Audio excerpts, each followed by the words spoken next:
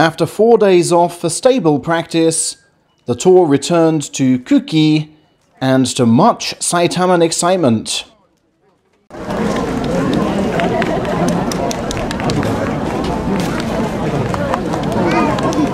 Just look at the queue for photos with local man Hokutofuji.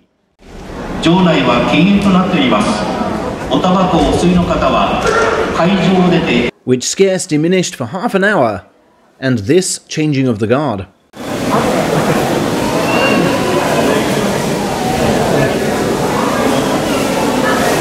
After a surreal station experience, Sadanoumi at the ticket gate, Chiyotairyu and Yutakayama in Starbucks, and Ura by the vending machine, I was able to deliver more of your cards to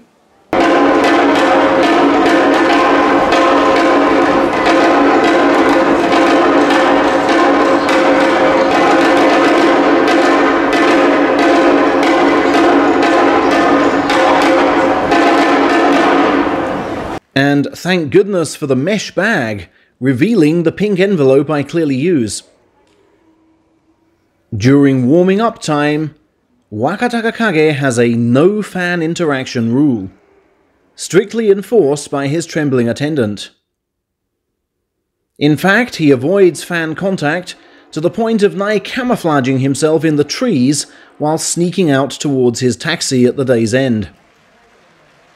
But when you see how pestered wrestlers are at these events, you understand him, and respect even more the men who respond to every tiresome request. Takakage was involved in the day's main highlight, which began with this set piece.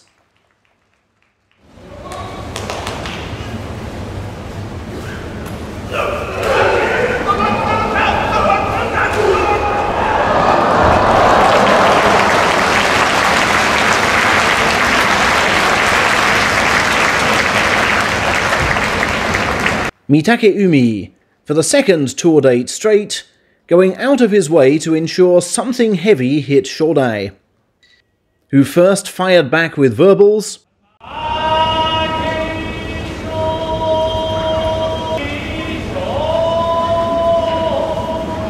then angry gestures,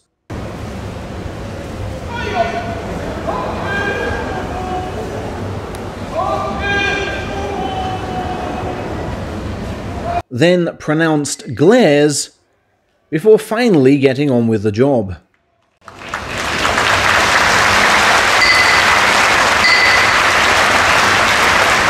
Some fans complain that Shodai is aloof, but he can't go on as in pre-Ozeki days. The cloudy face is all part of high rank demeanour. He's as warm as that ranking allows.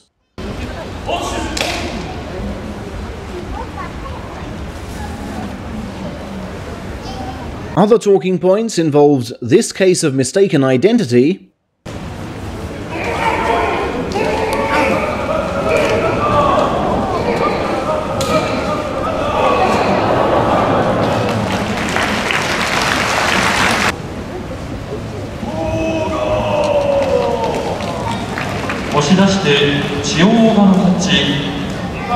both referee and announcer confusing winner with loser, Perhaps divine compensation for Chiyo Oga, who was wrongly read out as Chiyo Taiga in Chikusei.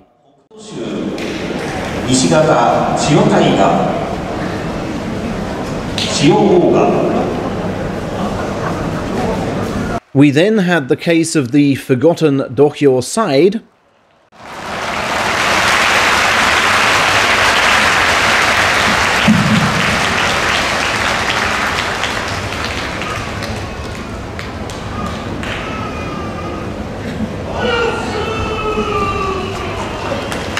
even impassive Takayasu cracking up. And we had this surprising breakage of pattern.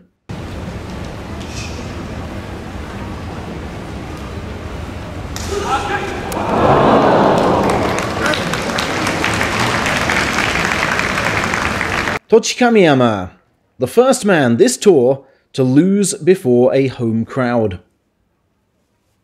But he was far from the star attraction, and so long as the top Saitamans won, all would rejoice.